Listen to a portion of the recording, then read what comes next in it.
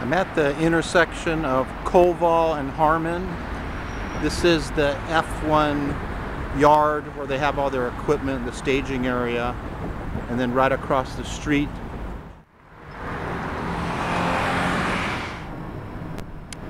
This is the paddock building. There's a lot of activity here now. They've built these stands to the right already. So you can see the track goes right through here.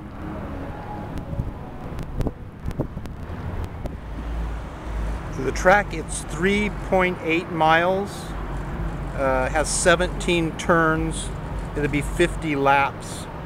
That's a total of 192.6 miles.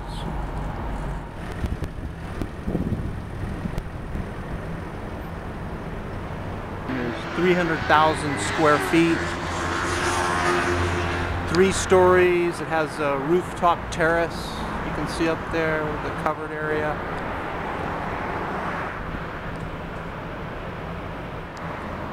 So November 21st, 22nd, and 23rd are the race days.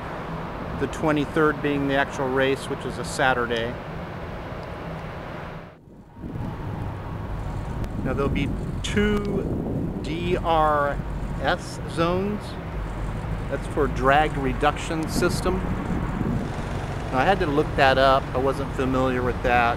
What that is, it's a system that allows the car has a flap on the rear wing that provides more downforce so the car can go what I read is six to seven miles an hour faster and it is allowed only by a car that is attempting to pass that is within one second behind so it seems like this intent of this is to have more passing, have a more interesting race.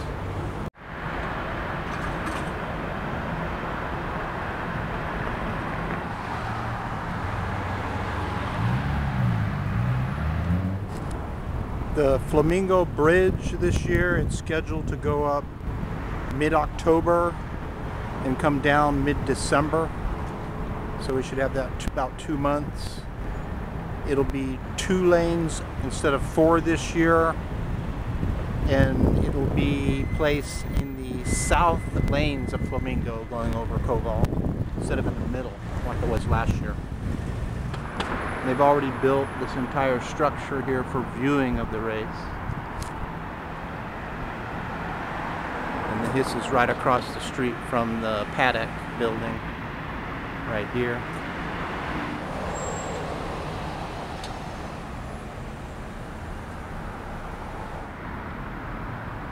Staging area is, of course,